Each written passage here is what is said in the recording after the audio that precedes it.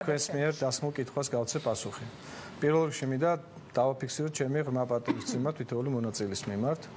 იმასაც ვხედავ, რომ ჟურნალისტები ხართ უმრავლესობაში და იმედი მაქვს, რომ მეტი ობიექტურობის განცდა დარჩება ჩვენ საზოგადოებას ყველა იმ საკითხთან დაკავშირებით, რომლის გარშემოც მოგვიწევს მსჯელობა.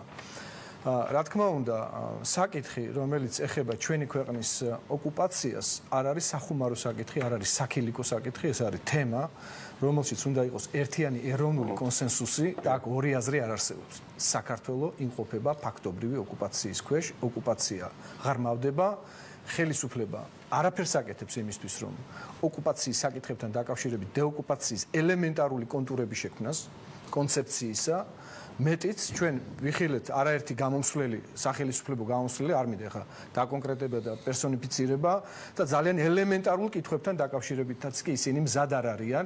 იმდენად ჩამოუყალიბებელია მათი სტრატეგია რუსეთთან დაკავშირებით. განსხვავებით ჩვენი პოლიტიკური ორგანიზაციის ლიდერისგან და ქალტონ ნინო ბურჯანაძეზე აქცენტით დაიწყეთ თქვენ შეკითხვა და მე უფლება არ მაქვს რომ ამითივე არ გავაგრძელო პასუხი. ბუნებრივია ქალტონ ნინო ბურჯანაძე არის ის სოლიდური პოლიტიკოსი, სოლიდური პოლიტიკოსი, რომელსაც ნამდვილად შეუძლია ჩვენ მდგომარეობაში ყოფი ქვეყნის პირობებში შეიტანოს ძალიან მნიშვნელოვანი საპასუხისგებლო წვლილი სწორედ აი ამ რუტინის განხლართვაში რომელშიც სამწუხაროდ კიდევ ერთხელ ვიმეორებ, როგორც წინა ხელისუფლება, ისე დღევანდელი ხელისუფლება, რომელმაც სახელმწიფოს კამები დაიკავა სწორედ ორი პირობის აღსრულების, ასე ვთქვათ, დანაპირებით, როგორც იყო საგარეო პოლიტიკა რუსეთთან ურთიერთობის დაალაგებით და რა თქმა უნდა, ეს პირველ რიგში ოკუპაციის საკითხს უნდა გულისხმობდეს და მეორე სამართლიანი სამართლებრივი გარემოს აღდგენა, რაზეც დღეს მე არ ვისაუბრებ, გამომდინარე ჩვენი თემატიკიდან და აქაც ნათელია, რომ ძალიან ბევრი საკითხი არის პასუხგაუცემელი. ჩვენ კოლაბორაციას შევეხეთ ბატონმა ირაკლიმ კოლაბორაციონიზმის საკითხი ახსენა და თქვა რომ უკვე საზოგადოება დაბნეულია ვინ კოლაბორაციაშია ვინ დასაკეთებს. კი ბატონო მე ვეთანხმები ბატონ ირაკლის ამ საკითხში. თუმცა არ მჯერა როცა ამბობენ რომ საზოგადოებრივი მეხსიერება არის მოკლე.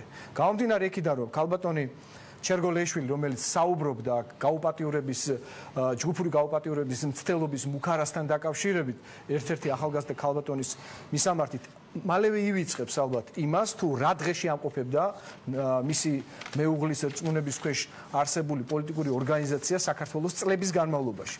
და არც აქ გავაგრძელებ წიაღსვლას ეს ყველაფერი ძალიან კარგად ვიცით. უბრალოდ ბატონ ირაკლი შევახსენებ, რომ 2008 წელს საქართველოს თავდაცვის ბიუჯეტი ბატონ ირაკლი შეადგენდა მილიარდ 130 მილიონ ლარს. და ასეთი ბიუჯეტის პირობებში რომელიც რომლის ერთი მერვედი იყო 90 12 წელს დაწყებული ომის პირობებში საქართველოს ბიუჯეტი. ქართულმა ვაშკაცებმა, ჩვენმა მეომრებმა, რაინდებმა გაძლეს წელიწადზე მეტი ერთი თვით ბრძოლაში რუსებთან.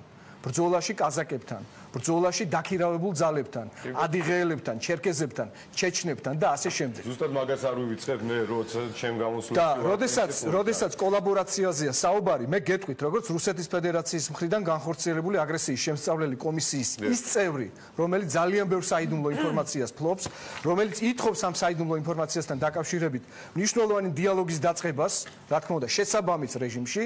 მაგრამ რომელიც ვერ აღწევს ამას. მაგრამ რისი თქმის უფლებაც მაქვს? იმას ეხლავე გეტყვით საჯაროდ სრულიად სახალხოდ. ის რომ 2008 წლის აგვისტოს მოვლენებიდან ორ თვეში საქართველოს ხელისუფლებამ რუსეთის ფედერაციასთან განახორციელა მთელი რიგი ეკონომიკური პრეფერენციებისა, რომელიც პირველად პირველ რიგში გულისხმობდა სწორედ ენგურხესთან დადებულ მემორანდუმს, შემდგომში უკვე 2 წლის შემდგომ ეს ყველაფერი გადავიდა გახსოვთ თქვენ სოფლიო სავაჭრო ორგანიზაციაში რუსეთის შესვლასთან დაკავშირებულ დასტურზე, რომლითაც საქართველოს ეკონომიკური საზღვრები გადმოწია ფსოუდან ენგურზე და როკიდან გორში და ამის შემოქმედი იყო სწორედ აი ქალბატონის მეუღლე, რომელიც წეღან საუბრობდა საუბრობდა კალბატონი ინგას გადაცემის დასაწყისში. მისი მეუღლე ბატონი გიგაბოკერია დიახ?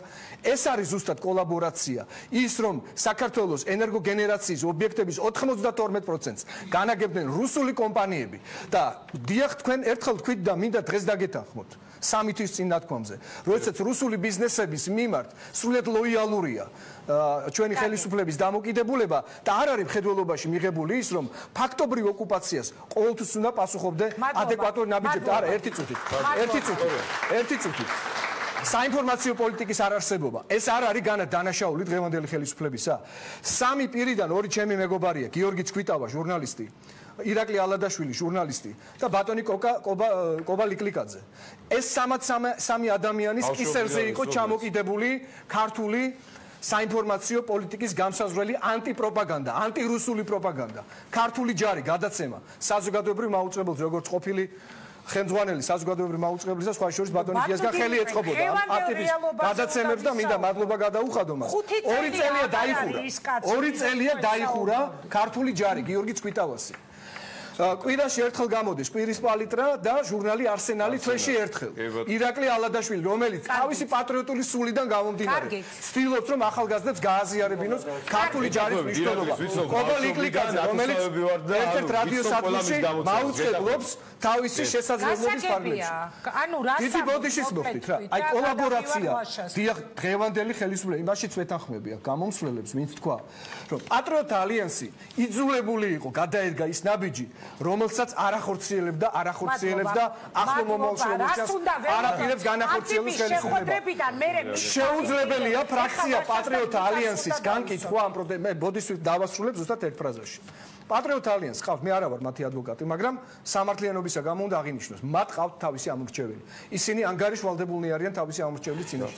თუ მათ ჩათვალეს, რომ მათი ამორჩეველი მოითხოვდა მათგან, როგორც უმცირესი წარმომადგენლებისგან საქართველოს პარლამენტისა, რომ ყინული დაეძრათ და მაგალითი მიეცათ ხელისუფლებისთვის, მათ ეს დიახ უნდა განახორციელოს. მადლობა დიდი. მე ლაშასთან და ნიკასთან უნდა გადავიდე ახლა კითხვებით.